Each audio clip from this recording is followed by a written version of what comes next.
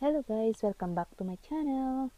Ayan, for today's vlog, tuturuan ko kayo kung paano nga ba mag-open ng bank account dito sa Taiwan. At ano-ano nga ba ang mga requirements na kailangan. So guys, please keep on watching.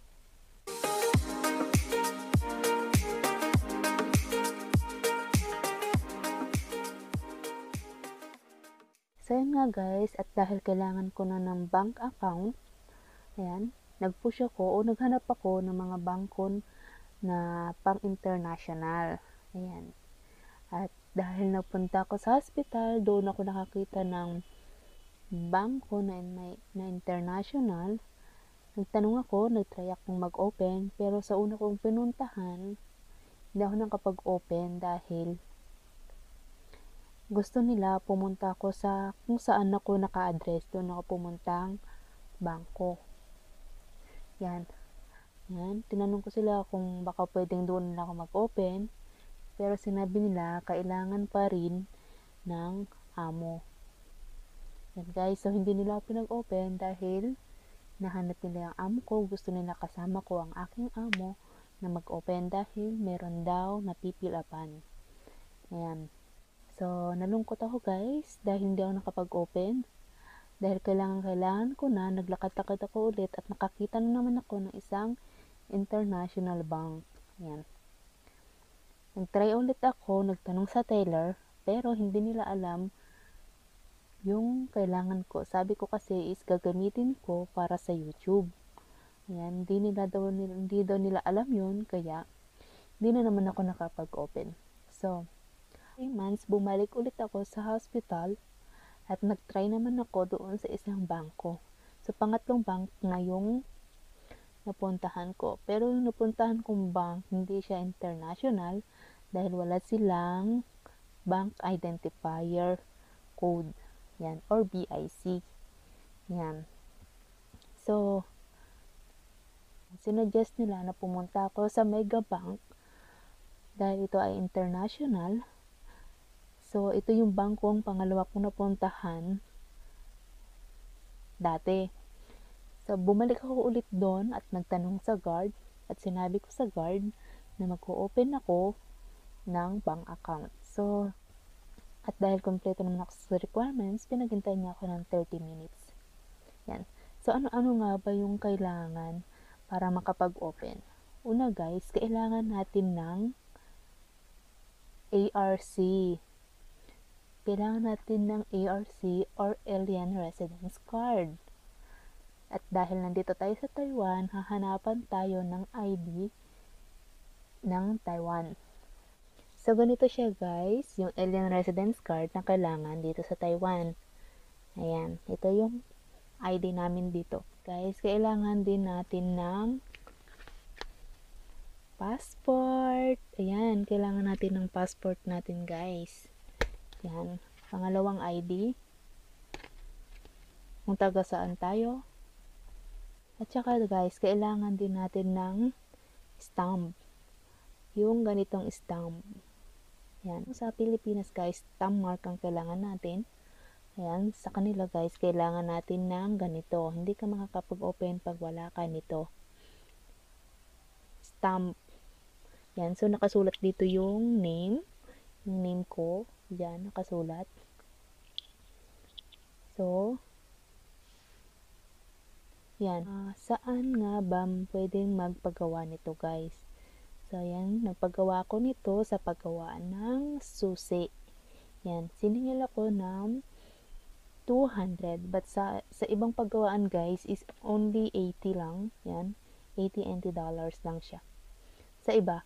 Pero ako, siningil niya ako ng 200. Yan. Medyo mahal naghintay lang ako. Madali lang guys, madali lang siya magpagawa. Naghintay, maghintay ka lang ng 30 minutes. Yan. Yan. Bigay mo lang sa kanya yung pangalan mo. At, at kung hindi mo alam kung anong pangalan nito, meron naman naka-display doon. Ituro mo na lang na ganito yung, yung kailangan mo. Yan. Basta pumunta ka lang sa paggawaan ng susi, sabi, hanapin mo yung ganitong itsura at ituro mo yan. Kasi minsan, hindi marunong mag-English yung gumagawa nito. Yan. 80 NT lang sa iba guys, pero sa akin 200 ang siningil. Yan. Ang isa pang requirements guys is kailangan ng TIN number. Yan. Pero ako, dahil hindi ko kabisado ang TIN number ko or wala akong picture or photocopy ng TIN number ko, binigay ko lang yung reference ng UMID ID ko dahil yung UMID ID naman is parang yun na yung ang Philippine ID natin. Yan. Kapag tinawag ka ng account information, yan, tatanungin niya kung ano yung open sa'yo. So, nagsabi ako na kailangan ko ng ng ATM.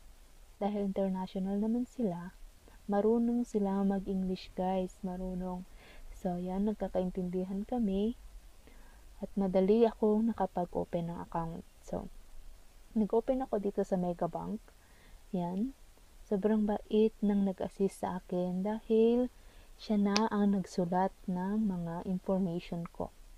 Yan, binigay ko lang yung mga requirements ko at siya na ang nagsulat, ang nag-assist sa akin dyan sa Megabank South Banchao.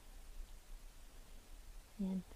Tsaka guys, guys, isang tip guys, pag nag-open ka ng account, tinanong niya kung saan mo ba gagamitin ang bank account o bakit ka nga ba mag-open ng bank account. Sabihin mo lang na savings lang. Huwag mo isasabihin na doon ihuhulog yung salary mo. Kuhanan ka ng number at tatawagan yung amo mo. So, um, madali lang mag-open guys. 30, na, na 30 minutes ako naghintay dahil meron na merong nauna sa akin.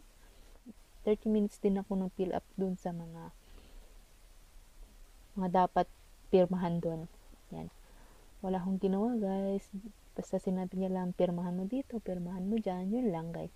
Ganun lang kadali.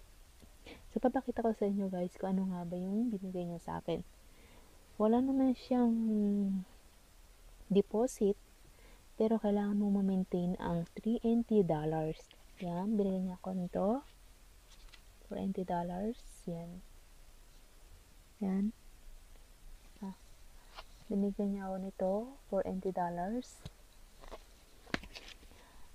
At sabi ko, nagtanong din ako kung meron, at humingi din ako ng ganito para alam ko kung ano yung SWIFT code niya or bank identifier code.